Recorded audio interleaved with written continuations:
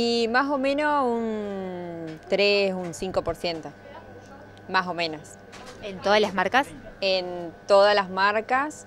Este, todavía la de Jockey no sabemos porque recién el cigarrero nos está pasando en estos momentos. Este, pero más o menos eso.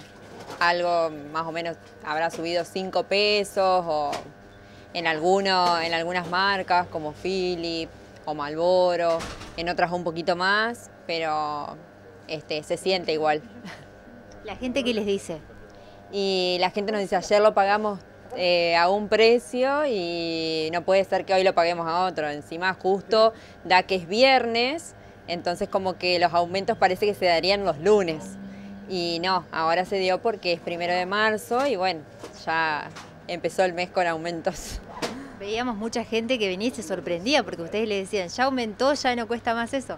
Sí, sí, mucha gente se sorprende. Eh, como te digo, son capaz que 5 o 10 pesos, pero en el bolsillo del fumador que fuma todos los días, que muchas veces fuma o dos o un atado por día, se siente. Y durante la semana más todavía. ¿No es el primer aumento que sea en este año? No, no es el primero, se dio creo que no sé si en enero o en diciembre, a fines de diciembre, este, y el año pasado también hubo más aumentos.